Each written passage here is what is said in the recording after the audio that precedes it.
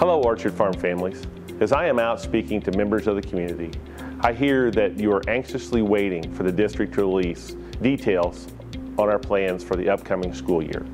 Although those plans are not completed today, I wanted to provide you with an update so you will know where we stand for the upcoming school year. Rest assured, every decision we make will be rooted in our commitment to equity and access to quality instruction for all students, supported with safe and best practices during a pandemic.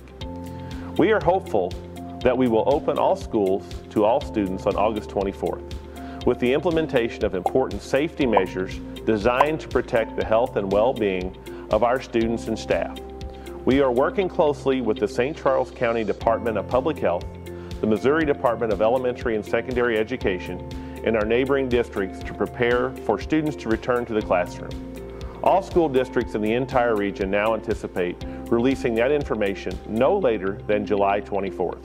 While we are actively focused on developing plans for students and families who are ready to attend in-person school, we will also be providing options for students and families who are not ready or medically unable to attend school in person. We are also planning for blended scenarios consisting of in-person and virtual instruction and a fully virtual option if the need arises. It's our goal to have a thoughtful, methodical reopening plan that meets student instructional needs and strikes a balance between the health concerns posed by COVID-19 and the needs of our community. Thank you for your patience, and we look forward to sharing details with you in the very near future.